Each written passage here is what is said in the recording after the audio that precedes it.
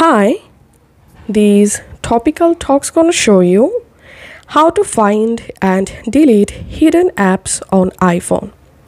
So right now I will show you three different ways to delete hidden apps from your iPhone or iPad.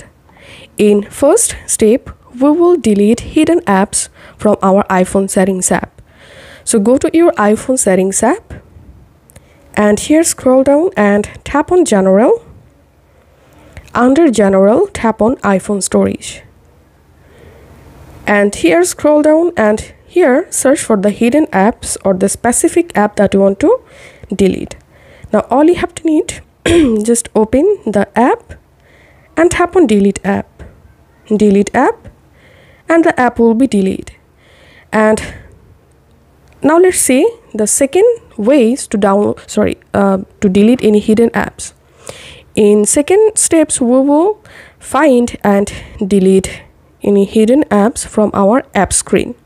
So all you have to need go to our app screen and then you have to swipe to the bottom from top like this. And here you will find this search apps box. In this box you have to search for the apps that want to delete or search for a hidden app.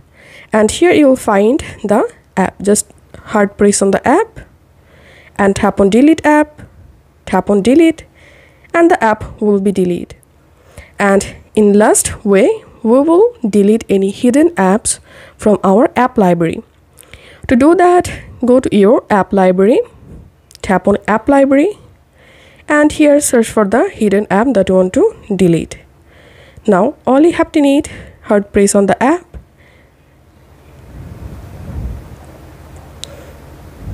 and sorry I'm opening my app library again and here search for the app and you have to uh, tap on the app and drag the app to add into your app screen. Once the app added now tap and hold the app tap on remove app and tap on delete app and the hidden app will be deleted. So this is how we can do it. If this video help you out please leave a like and leave a comment down below. Thank you for watching